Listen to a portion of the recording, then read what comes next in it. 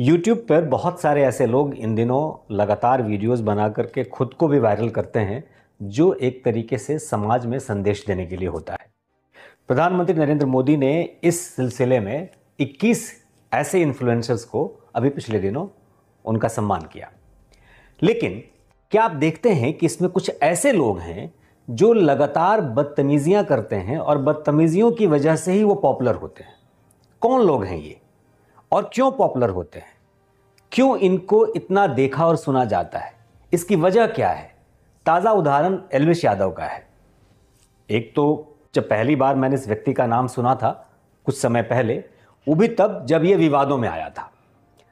गमले चोरी का एक आरोप था, उसको लेकर के कि भाई, इसने चोरी की है, नहीं की है, ये इस तरीके का एक विवाद चला तो मुझे ये नाम मेरे जहन में आया जब मैंने कहीं देखा सुना। उसके बाद से लगातार ऐसी घटनाओं में मतलब खास तौर पर बदतमीजियों वाली घटनाओं में इस व्यक्ति का नाम, इस नौजवान का नाम आता रहा। और मुझे आश्चर्य तब होता है जब कोई व्यक्ति इस देश में अपने नाम के आगे सिर्फ़ लिखता है, मैं हिंदू हूँ, और उसको इस देश में किसी सूबे का मुख्यमंत्री अपने साथ स्टेज देता है। भाई, हरियाणा में क्या हुआ? हरियाणा के मुख्यमंत्री मनोहर लाल खट्टर ने इसको मंच पर जगह दी।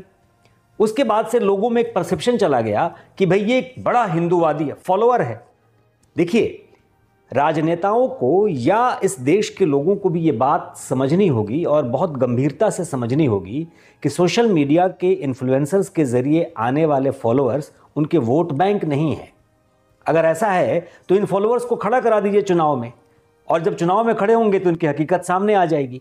ऐसी स्थिति बिल्कुल नहीं है। और ताज़ा उदाहरण ये है कि अब ये गुंडई इस कदर बढ़ गई कि ये आदमी एक दूसरे यूट्यूबर के घर में घुसकर उसके साथ मारपीट कर रहा है, उसका वीडियो सामने आ रहा है।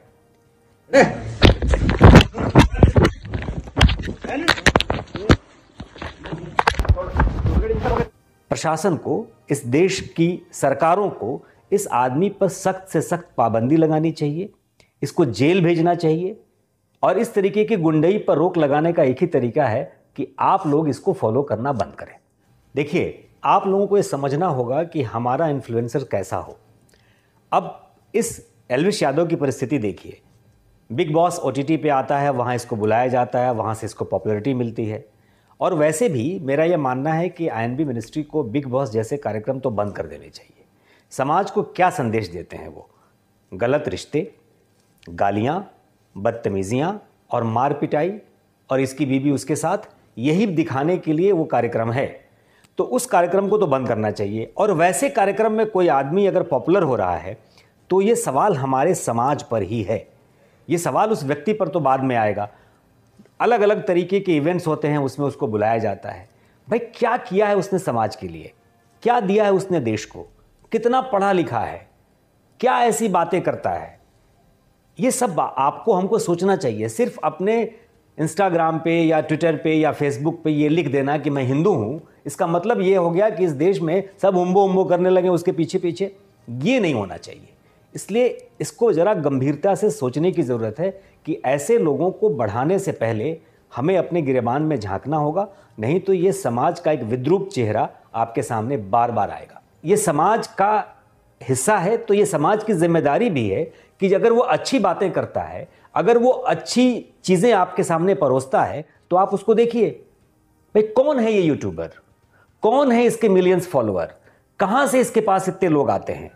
ये सब सिर्फ़ और सिर्फ़ आप लोगों की वजह से है। तो गुनाह आप लोगों का भी है। नमस्कार।